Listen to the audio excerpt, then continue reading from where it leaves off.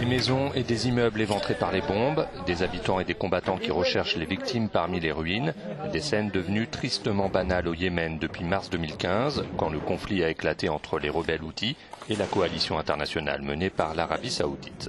Le bilan des combats dépasse les 8000 morts, dont une cinquantaine ce mois-ci, sur des marchés touchés par des missiles.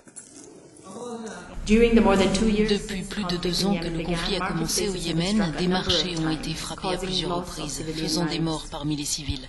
Nous rappelons que les attaques aveugles ou disproportionnées contre des cibles civiles comme les marchés sont interdites par le droit humanitaire international. Le pays est aussi en proie à une épidémie de choléra qui a déjà fait 1265 morts, dont un quart étaient des enfants.